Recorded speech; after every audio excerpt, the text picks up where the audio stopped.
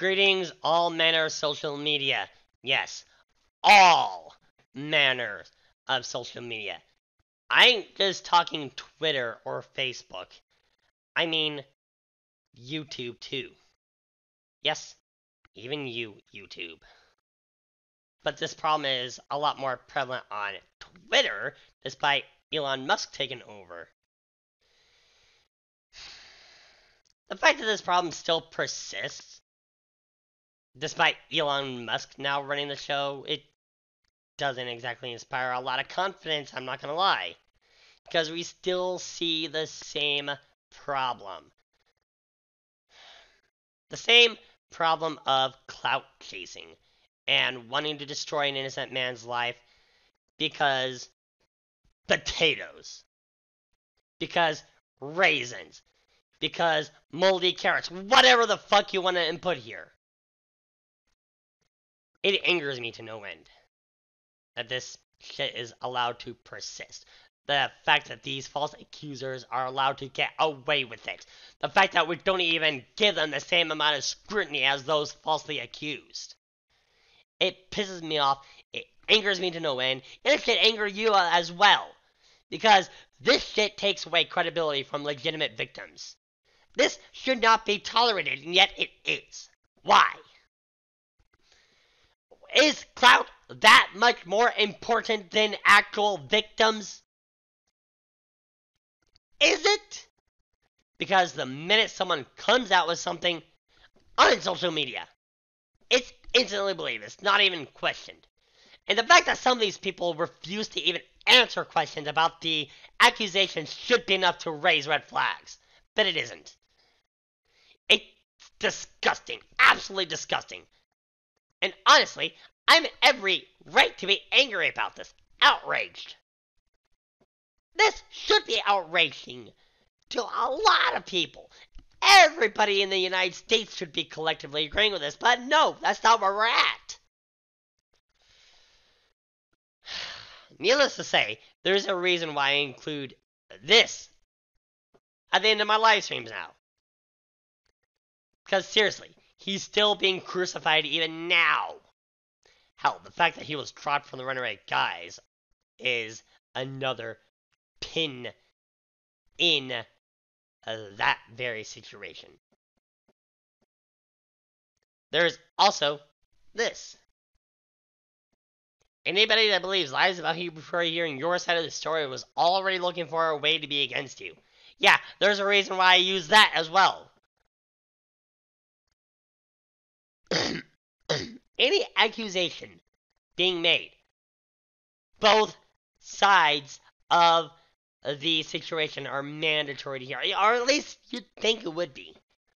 But there are some people who refuse to hear both sides of any given anything, which should also raise red flags. People who tell you, get used to your side not being heard, those people are part of the problem and don't want anybody to even try to defend themselves from anything. That's why they tell you, well, maybe you should get used to your side not being heard. Maybe, just maybe, you need to get used to hearing both sides. I have far gone beyond my tolerance limit for all of this bullshit. So, I have started a petition to mandate anybody with an accusation of any kind report to law enforcement before going to social media. Because honestly, the whole problem is going straight to social media and not going to law enforcement. If this gets anywhere, perhaps I'll have some faith restored in humanity. Maybe. But the petition is mandating reporting to law enforcement prior to social media accusations. I have personally witnessed the devastating effects of false accusations on social media. Individuals such as Lady Emily have been known to make unfounded allegations that can irreparably irreparably damage a person's life. Not, like, yeah. Not only does this harm innocent individuals, but it also undermines the credibility of real victims who are brave enough to come forward. The rise in clout chasing, using sensational and often untrue stories for personal gain or attention, is a concerning trend. It, it is. It has become increasingly important to ensure that accusations are properly investigated before they are publicized on social media platforms. According to the study by the University of California, Los Angeles, false accusations can lead to severe psychological trauma and societal ostracization for those accused. Furthermore, false allegations can undermine genuine cases of abuse or assault by creating skepticism around all claims. To protect the potential victims and those just unjustly accused, we propose legal requirement for all accusers to report their allegations directly to law enforcement agencies prior to their disclosure on social media platforms. This will ensure due process is followed and will help maintain the integrity of true victim stories. We need your help in making this change happen. Please sign this petition today so that we can take one step closer towards justice and fairness in our society. Yeah, I've seen this trend go on for far too long to not take action at this point.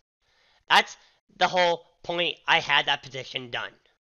So I urge anyone watching this, and everybody watching this, please sign the petition and share it out everywhere because we cannot tolerate false accusations any longer, nor going exclusively to social media to air accusations without going to the police.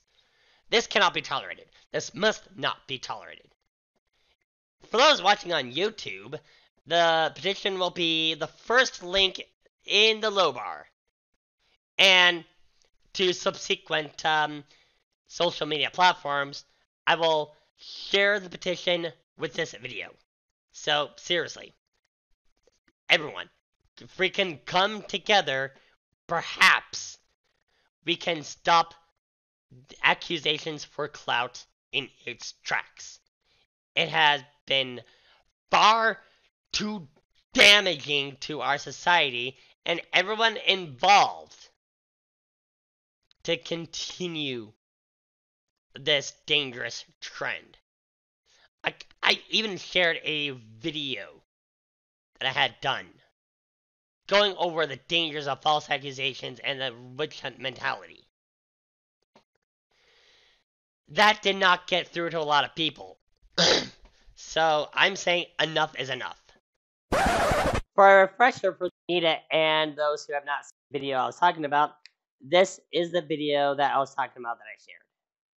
Have you ever considered the dangerous power of a lie? A single false accusation can ruin lives, careers, and reputations.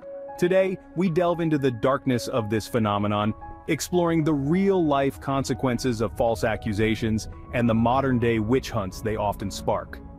Consider the case of the Central Park Five, five teenagers wrongfully accused and convicted for a crime they did not commit. These young men spent between 6 to 13 years in prison, their youth stolen from them, their futures tainted by a crime they never committed. A single lie, bolstered by public hysteria and a rush to judgment, changed their lives forever. Or perhaps you've heard of the infamous Salem witch trials of the late 17th century. A small village in Massachusetts was consumed by fear and paranoia, resulting in the false accusations, trials and executions of 20 people. Lives were lost, families torn apart, and an entire community destroyed by the powerful sway of groundless allegations. These are not isolated incidents. In the present day, the rise of social media has only amplified the potential for false accusations to spread like wildfire. The case of Sunil Tripathi serves as a chilling reminder.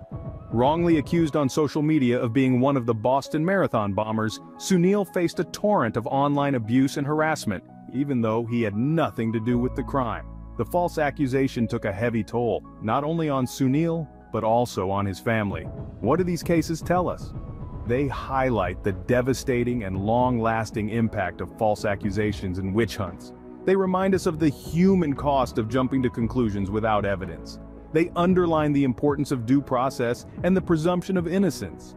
False accusations can ruin lives, destroy families, and tear communities apart. They can create an environment of fear and mistrust, stifling open dialogue and constructive debate. And modern-day witch hunts, whether they take place in a courtroom or on social media, only serve to amplify these damaging effects. In the case of the Central Park Five, the Salem witch trials, and Sunil Tripathi, we see the dangerous power of false accusations and the devastation they can wreak.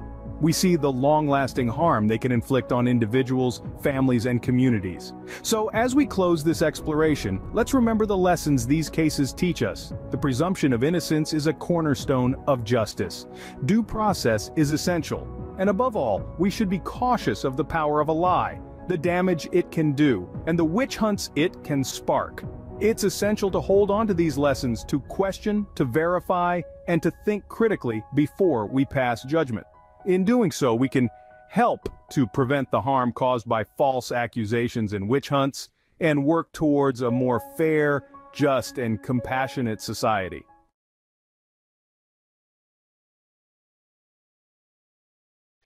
I had a petition done for that very reason. So I implore all of you watching this, please share the petition and sign it yourself. Because this trend has to come to a stop.